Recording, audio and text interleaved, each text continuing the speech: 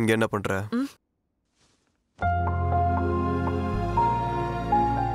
இந்த ரிசைன் மக்களோட போராட்டம் எலெக்ஷன்ஸ் இந்த ப்ராசஸ்லாம் ரொம்ப கஷ்டமா இருக்கு. இதுல நம்ம ஜெயிக்கணும்.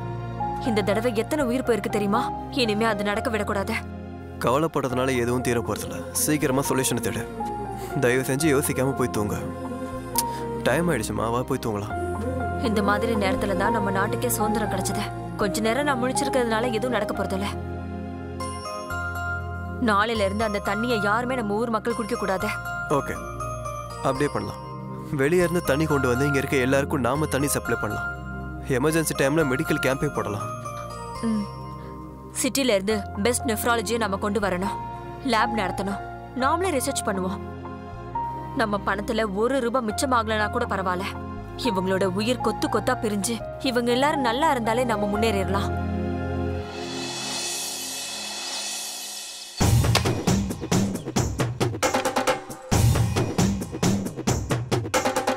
கங்கையை திறந்தாலம்மா தாகத்தை தீர்க்க வந்தா ஏழையின் கண்ணீரை போக்க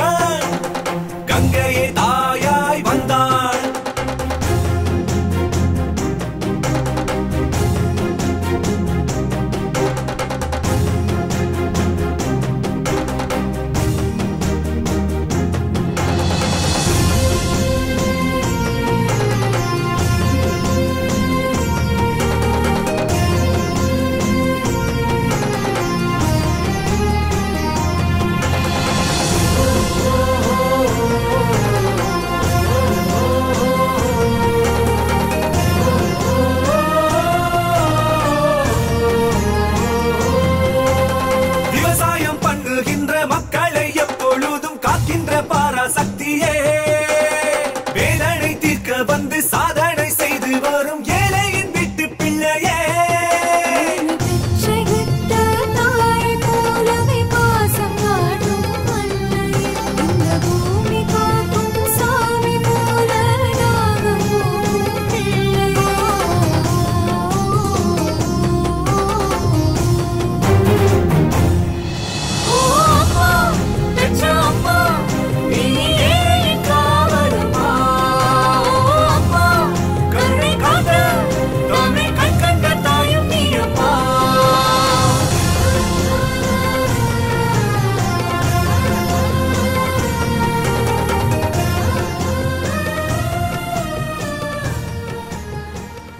வியாதி மட்டும் இல்ல. இன்னும் கொஞ்ச நாள்ல நாமளும் இங்க இருக்க முடியாது. இதை எப்படி சரி பண்ணணும்னு தெரியும். அவளோட ஸ்பீட் பிரேக்குக்கு நான் எப்படி ஸ்பீட் பிரேக் போடுறேன்னு பாருங்க. யோ வண்டி அடியா?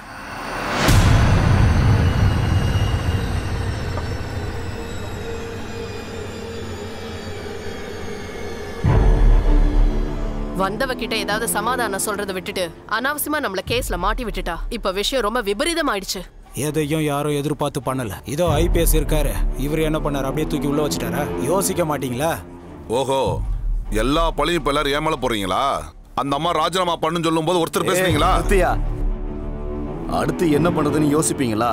இப்படி ஒருத்தரை மாத்தி ஒருத்தர் குறை சொல்லிட்டு இருக்கீங்க? உன்னை டிரான்ஸ்ஃபர் தான் பண்ணுவானுங்க பிரச்சனைனா என்ன பதவியை விட்டு தூக்கிடுவானுங்க. இந்த மக்களுக்காக இவனுங்க ஓட்டு போடுறதுக்காக என் சொத்தெல்லாம் தூக்கி கொடுத்துருக்க. அப்படி இருந்தும் ஒருத்தனுக்கு விசுவாசம் இல்ல. இவங்களால அப்படி என்ன பிரயோஜனம் இருக்கு? நீயே கொஞ்சம் யோசிச்சு பாரு. நாக்க புடுங்கிட்டு நான் சாக வேண்டியதுதான்.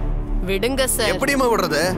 நீங்க கூட என்ன சார் இப்படி குழந்தைத்தனமா ஒண்ணு இல்லாத விஷயத்துக்கு குதிச்சுக்கிட்டு இருக்கீங்க? அப்படிதான் இது தெரியும்.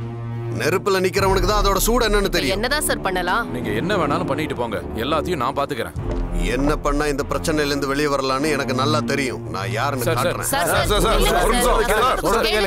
நீங்களாவது சொல்லுங்க சார் அவர் போயிட்டு இருக்காரு. அவரை நிறுத்துறது முக்கியம் இல்ல நாளைக்கு நடக்க போறதை நிறுத்தணும். எப்படிங்க? இங்க நல்லா தான் பேசுறோம். அங்க போயிட்டாதான் நிறுத்திடுறோம்.